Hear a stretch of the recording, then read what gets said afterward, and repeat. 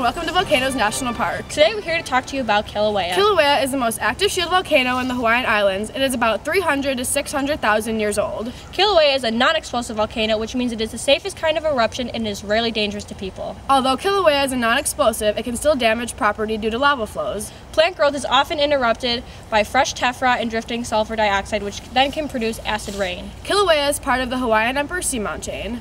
The last eruption occurred January 3rd in 1983 and has not stopped erupting since. Only one time did Kilauea erupt and kill 80 people in 1790. Other than that, the time people have really nothing to worry about. Two important parts of physics that can determine whether a volcano is explosive or not is rheology and viscosity. Rheology is a study of flow of matter, and the type of flow Kilauea has is laminar, which means the flow is organized. The other part is viscosity. Viscosity is a fluid's resistance to flow. Kilauea has a low viscosity. Do you want to see Kilauea? That's what I thought. Let's go!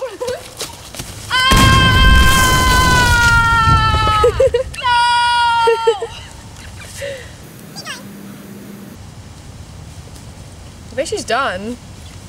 She's definitely done. Oh, nope. Ah! Chaos! Damage. Oh my god. Oh, there was more? No, no, no. Go. Minutes.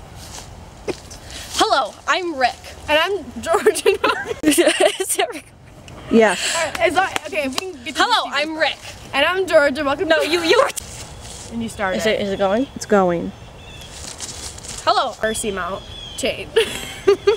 The last eruption occurred January 3rd, 1983, and has not stopped erupting since. Only one time did Kilauea erupt and kill 80 people.